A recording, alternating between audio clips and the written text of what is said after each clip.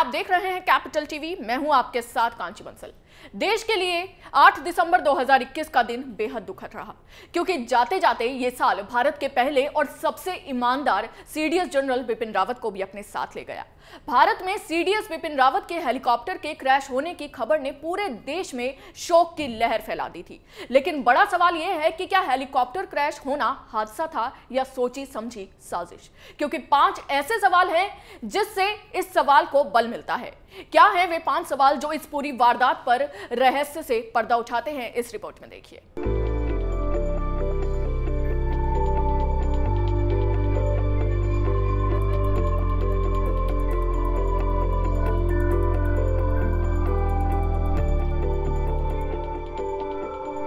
तमिलनाडु के कुन्नूर में बुधवार को हेलीकॉप्टर दुर्घटना में chief of defence staff Bipin Rawat, उनकी पत्नी और 11 अन्य रक्षा कर्मियों की मौत हो गई। सीडीएस वेलिंगटन के डिफेंस सर्विस स्टाफ कॉलेज में लेक्चर देने जा रहे थे। तभी ये हादसा हो गया। हेलीकॉप्टर लैंडिंग से कुछ मिनट पहले दुर्घटना ग्रस्त हो गया। इन सब के बीच लोगों के मन में हादसे को लेकर कई तरह के सवाल और आशंकाएँ हैं। जानते हैं ऐसे ही कुछ सवाल और उनके जवाबों के बारे में। सबसे पहला सवाल हेलीकॉप्टर से कोई डिस्ट्रेस कॉल क्यों नहीं आई?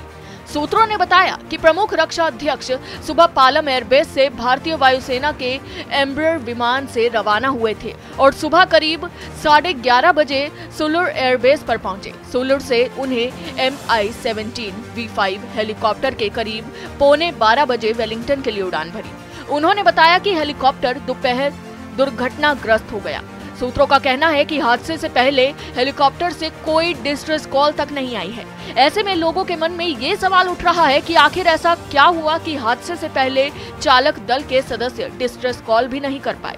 लैंडिंग से पहले पायलट का मैसेज था कि वे 4000 फीट की ऊंचाई पर है और लैंडिंग बेस से पाँच मिनट दूर है। दूसरा बड़ा सवाल एम आई सेवेंटीन सबसे सुरक्षित हेलीकॉप्टर है तो हादसे का कारण तकनीकी गड़बड़ी या कुछ और होगा। M I seventeen V five helicopter को बहुत सुरक्षित माना जाता है, इसलिए इसे पीएम समेत अन्य V V I P use करते हैं। इसमें डबल इंजन होता है। ऐसे में ये सवाल उठना लाजमी है कि अगर ये हेलीकॉप्टर इतना सुरक्षित है तो आखिर ये हादसा कैसे हो गया? क्या इस हादसे की वजह तकनीकी गड़बड़ी है या कुछ और?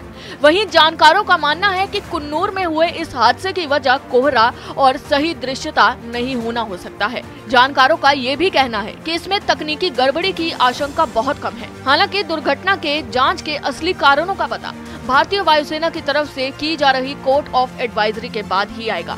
हेलीकॉप्टर के अवशेषों की आगे की फोरेंसिक जाँच से ये भी पता चल सकता है कि क्या दुर्घटना के बाहरी कारण थे। इसके अलावा group captain Varun Singh, Wellington Tamil Nadu में डिफेंस सर्विसेज़ स्टाफ कॉलेज में डायरेक्टिंग स्टाफ भी उड़ान के बारे में सीधे जानकारी दे सकते हैं। तीसरा सवाल, आखिर ब्लैक बॉक्स में क्या है? क्या उसमें कुछ राज छिपे हुए हैं? दुर्घटनाग्रस्त हुए M I seventeen V five helicopter के ब्लैक बॉक्स और फ़्लाइट डेटा रिकॉर्डर मिल गया है। इससे पहले जाँच टीम ने तलाशी का दायरा बढ़ा दिया था। ऐसे में आखिर ब्लैक बॉक्स में क्या है? उसमें क्या राज छुपे हैं? ब्लैक बॉक्स हेलीकॉप्टर की अंतिम उड़ान स्थिति और अन्य पहलुओं के बारे में डेटा बता सकता है। भले ही इसे ब्लैक बॉक्स कहा जाता है, लेकिन उड़ान डेटा रिकॉर्डर को चमकीले नारंगी रंग में रंगा जाता है और ये उड़ान डेटा और कॉकपिट की एक्टिविटी को रिकॉर्ड करता है। चौथा बड़ा सवाल, वीवीआईपी हेलीकॉप्टर स्वदेशी है या विदेशी? M I seventeen V five VVIP helicopter रूस में निर्मित है। इसे दुनिया का सबसे एडवांस हेलीकॉप्टर माना जाता है। इसकी अधिकतम स्पीड 250 किलोमीटर प्रति घंटा है। ये एक बार में 36 सैनिकों को लेकर उड़ान भर सकता है। इसकी खासियत है कि ये 6000 मीटर तक की ऊंचाई पर भी उड़ान भर सकता है। ये एक बार फ्यूल के साथ 580 किलोमीटर का सफ़र तय कर सकता है। 17 फरवरी 2012 को इसे एयरफोर्स में शामिल किया गया था। आखिरी बड़ा सवाल, अचानक कोहरे में क्यों खो गया हेलीकॉप्टर? सोशल मीडिया पर इस M I seventeen V five helicopter से जुड़ा एक वीडियो वायरल हो रहा है। इस वीडियो को किसी टूरिस्ट ने शूट किया था। वीडियो में हेलीकॉप्टर आसमान में बिल्कुल सही तरीके से उड़ता हुआ नज़र आ रहा है। चंद सेकंड बाद ही हेलीकॉप्टर धुंध के गुबार में गायब हो जाता है। हालाँकि कैपिटल टीवी इस वीडियो की पुष्टि नहीं करता है।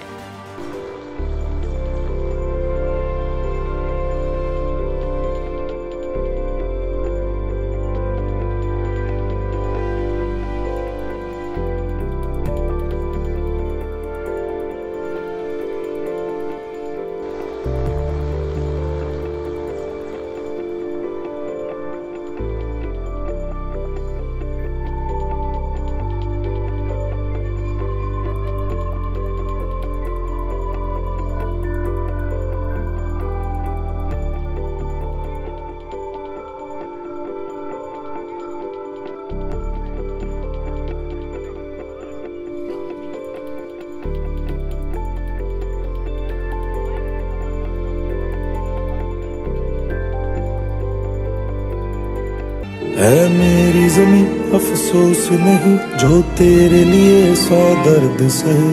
अगर आपने भारतीय सेना में शामिल होना है तो आपको शारीरिक और मानसिक रूप से हर तरीके से आपको मजबूती दिखानी है। Why are risk well you can take a safe path but if you follow a safe path without taking risks, there are chances of success and there are chances of failure.